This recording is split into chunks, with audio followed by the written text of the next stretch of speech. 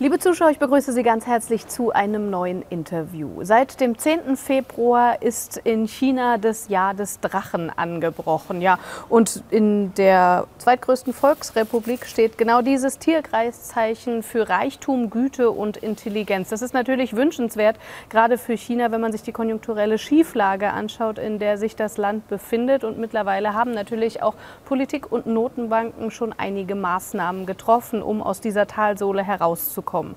Inwieweit diese Maßnahmen schon fruchten und welche Auswirkungen das sowohl auf den chinesischen Aktienmarkt als auch auf die europäische Konjunktur haben wird, darüber unterhalte ich mich in den nächsten Minuten mit Professor Dr. Jan Fiebig von Oddo BHF. Schön, dass Sie sich Zeit nehmen. Guten Tag, Frau Krämer. Grüße Sie.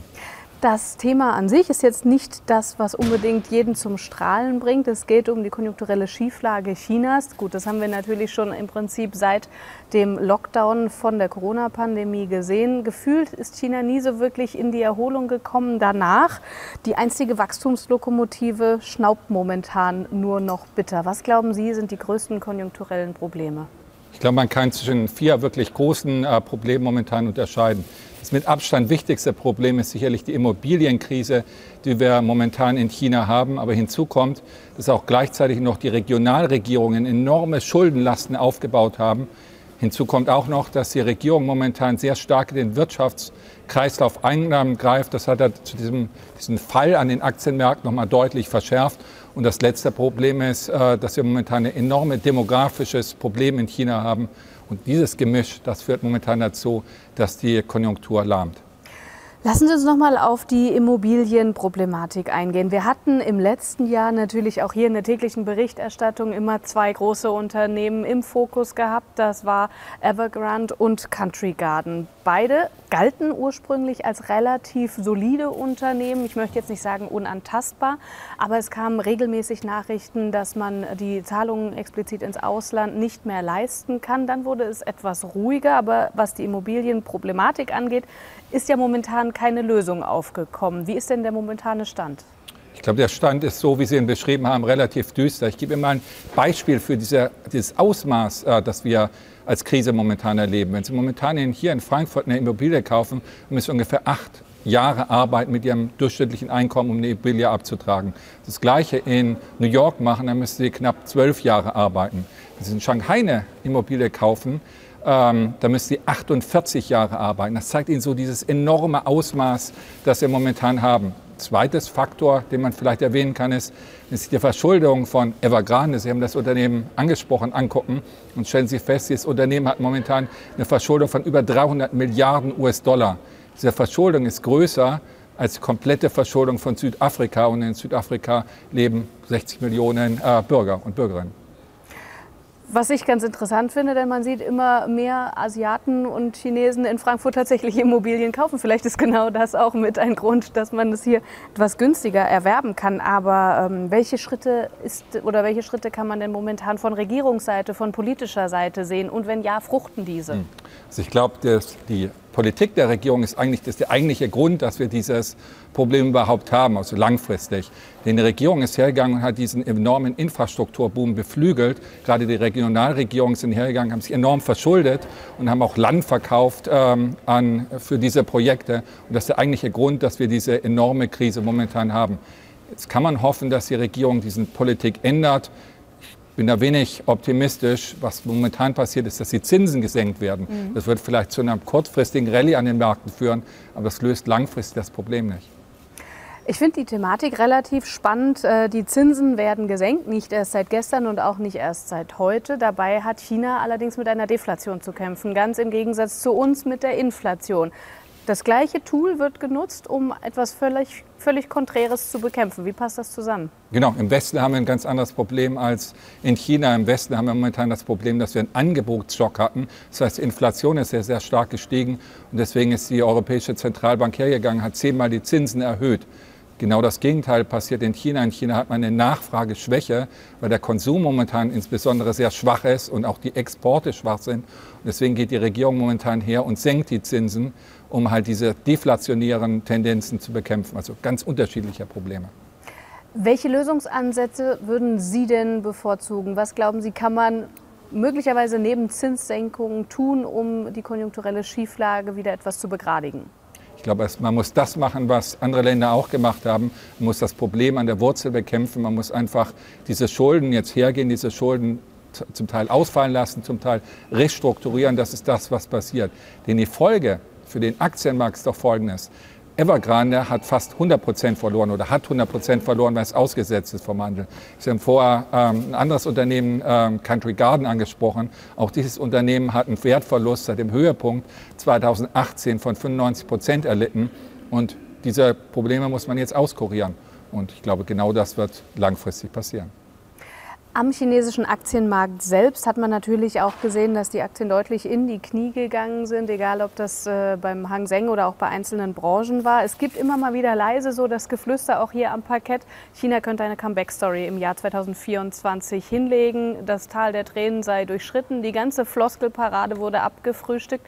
Klar, es gibt natürlich nicht nur die Immobilien in China, es gibt auch Unternehmen wie Alibaba beispielsweise, die, an die man sofort denkt. Glauben Sie denn, dass der chinesische Aktienmarkt tatsächlich sich in in diesem Jahr erholen kann? Natürlich können wir eine kurzfristige Rallye haben an den Märkten. Und wenn man das machen würde, dann würde man momentan vielleicht Banken kaufen, ja. Äh, China Construction Bank, Bank of China, solche Unternehmen würde man kaufen, wenn die Hoffnung ist, dass diese sehr, sehr stark gefallenen Unternehmen irgendwann mal wieder steigen. Wenn Sie die andere Hoffnung haben, Sie haben Alibaba angesprochen, dass Sie die Hoffnung haben, dass die Regierungspolitik sich ändert und der Staat nicht so stark in die Wirtschaft eingreift, dann würden Sie vielleicht eine Baidu, eine Tencent, solche Unternehmen äh, momentan kaufen. Nur, ich glaube, das ist keine gute Anlagepolitik, denn ich würde niemals in ein Unternehmen investieren, was nicht mindestens zehn Jahre halten würde. Und das würde ich mit chinesischen Aktien nicht machen. Und deswegen würde ich mich momentan von diesem Markt eher fernhalten, als dort zu spekulieren. Das heißt, auch günstige Bewertungen sollten im Vergleich gerade zum europäischen oder zum deutschen Markt, sollten einen da nicht aus der Reserve holen. Die Bewertung ist spottbillig. Ja. Man hat momentan Bewertungen, die liegen unter siebenmal ähm, der Gewinne. Das ist sehr, sehr, sehr billig. In den USA ist man über 20 Mal der Gewinne momentan. Also der chinesische Aktienmarkt ist billig, keine Frage. Wenn Sie Value-Investoren sind, dann würden Sie vielleicht dort investieren. Aber wenn Sie den Anspruch haben, gute Unternehmen, wundervolle Unternehmen zu suchen zu einem fairen Preis, die Sie langfristig halten, dann ist China ganz bestimmt nicht der Ort, wo man investiert.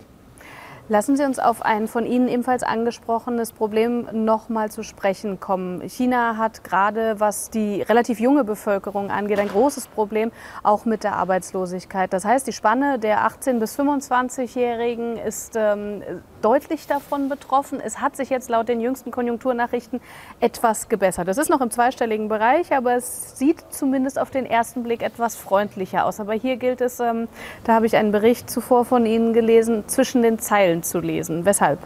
Genau. Ich meine, was in China passiert ist, die Jugendarbeitslosigkeit ist enorm angestiegen. Ist auf über 21,3 Prozent angestiegen nach der alten Berechnung. Und das hat die kommunistische Regierung gestört. Und was haben die gemacht? Die haben einfach diese Zeitreihe ausgesetzt und haben das neu berechnet, indem sie bestimmte Bevölkerungsgruppen, insbesondere Langzeitstudenten, ähm, ausgeschlossen haben von der Berechnung und haben neue, neue Zahlen präsentiert. Und diese neue Zeitreihe fängt offensichtlich tiefer an, fängt bei 14,9 Prozent an. Die Folge davon ist, dass Sie diese Daten einmal im Zeitablauf nicht mehr vergleichen können. Das ist eine Problem. Und das zweite Problem ist, dass Sie es auch international nicht mehr vergleichen können, diese Zahlen, weil die Zahlen halt überhaupt nicht mehr mit den Konventionen der Statistik übereinstimmen, die man in anderen Ländern hat. Da drängt sich einem oder mir zumindest auch die Frage auf, ob China nicht möglicherweise auch bei den Konjunkturnachrichten in der Vergangenheit ein kleines bisschen frisiert hat. Denn zweistellige Wachstumsraten, klar, vor Corona, die haben uns doch hier alle mit den Ohren schlackern lassen, oder? Die Frage drängt sich mir auch auf, ganz, ganz bestimmt. Und äh, wenn Sie sich momentan die Wachstumszahlen angucken, dann berichtet die chinesische Regierung ein Wachstum von 5,2 Prozent.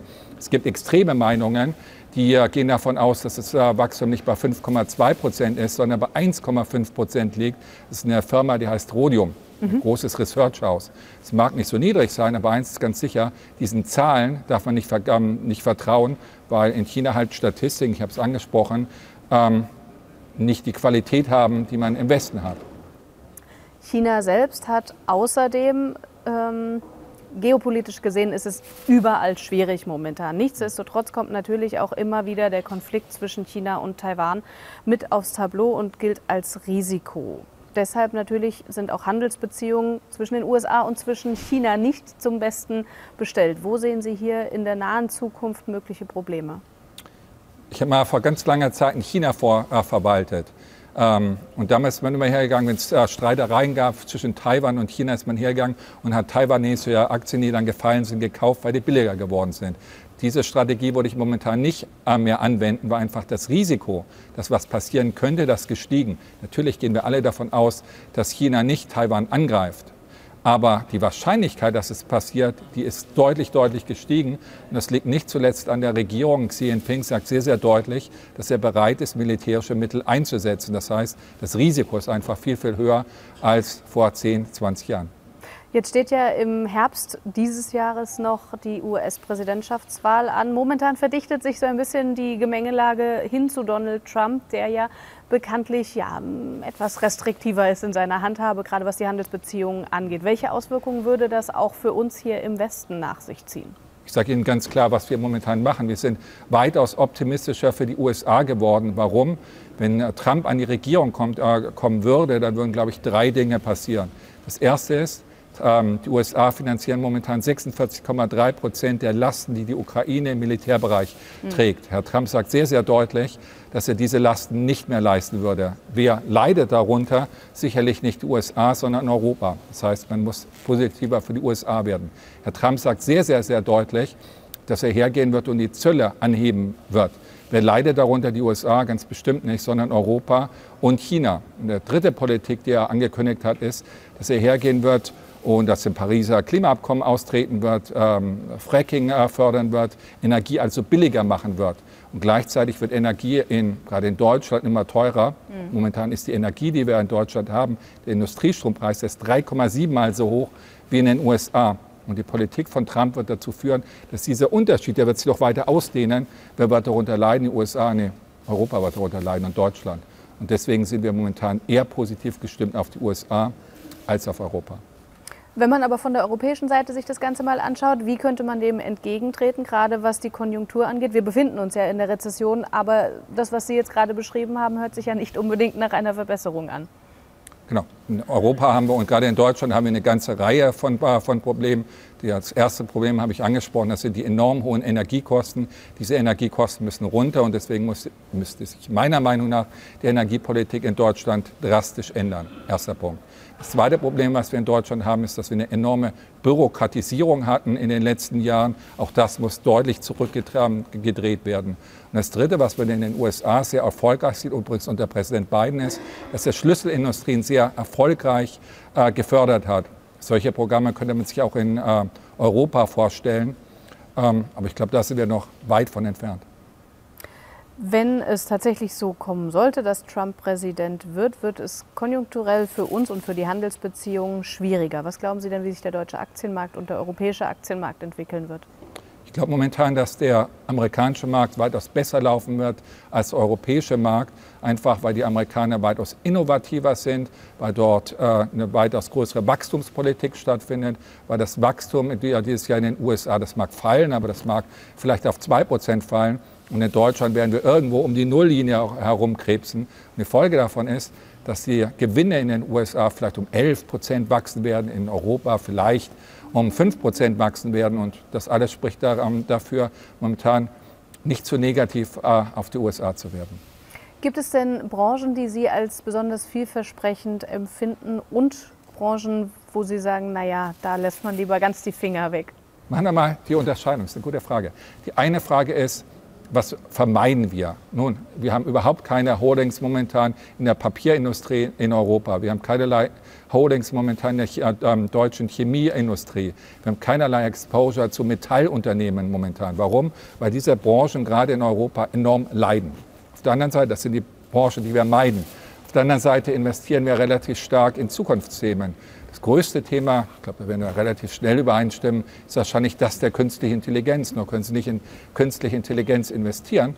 Deswegen gucken Sie, welche Branchen davon profitieren. Das ist insbesondere die Halbleiterbranche. Warum? Weil wenn man Modelle der künstlichen Intelligenz hat, neuronale Netze, dann müssen Sie sehr, sehr viele Parameter gleichzeitig optimieren. Dazu brauchen Sie gute Halbleiter. Sie brauchen Unternehmen im Cloud-Bereich, die die Daten bereitstellen. Und Sie brauchen Unternehmen, die äh, diese Modelle einführen. Dazu gehört beispielsweise Microsoft, die wir relativ stark halten. Solche Unternehmen halten wir. Oder andere Zukunftsthemen, die wir halten, sind transformative Medizin. Dafür passiert momentan sehr, sehr viel. Und solche Branchen, das kann ich Ihnen, glaube ich, da werden wir schnell übereinstimmen, die werden sich weitaus besser entwickeln als die Chemieindustrie in Deutschland.